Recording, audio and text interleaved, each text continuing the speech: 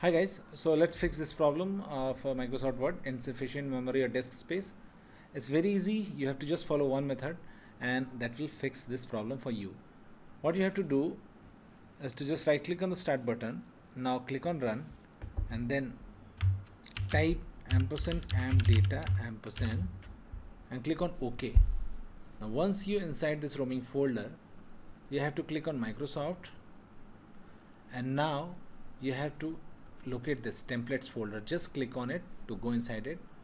Now before doing anything so to be sure that extensions are being shown what you have to do is to just click on view and click on options and click on view.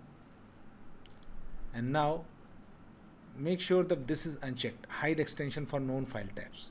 If it is checked just uncheck it unselect it okay? After that click on ok that what you have to do is to just rename this normal dot dot m to normal dot old okay?